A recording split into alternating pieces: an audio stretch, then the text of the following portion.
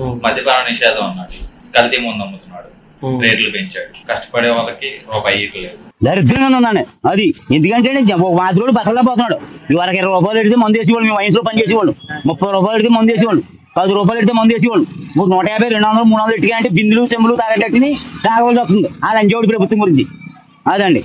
రాష్ట్రం మద్యం వల్ల నడుస్తుంది. ఆ మాట కూడా వస్తుందండి ఎందుకంటే ఇప్పుడు అతనికి ఆదాయం కోసం ఈ రోజు వైన్ షాపులు పద ప- పది గంటల వరకు ఉంచి ప్రతి మద్యం కూడా మరి క్వాలిటీలన్నీ కూడా సీప్ క్వాలిటీల్లో ఉంచి మరి ప్రజలు చాలా మంది పేదవాళ్ళు మరి తక్కువ రేటు కోసం చూసుకుని మరి సీప్ మందులని అయ్యని అని తాగి మరి ప్రాణాలు కోల్పోతున్నారు. అధిక రేట్లు పెంచేసుకునండి ఆయన. ముందు చంద్రబాబు నాయుడు గారు రూపాయలు ఉండేదండి సీప్ అది.